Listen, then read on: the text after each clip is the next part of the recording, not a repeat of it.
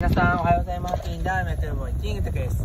長井市、えー、遊びと学びの施設プルンと、8月11日山の日祝日、長井市民限定でプレイオープンするそうです。はい。長井市民限定です。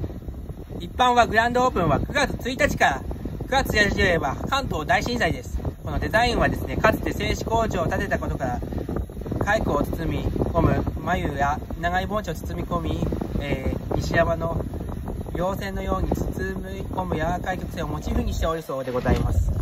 学び、育ち、えー遊び、出会い、その屋内にの遊戯施設、クルンとラクーン、創造広場、本の森探検、ベビーパーク、あとはまあ児童賞、あと一般賞、閲覧、あとソファー席、いろいろありますよね。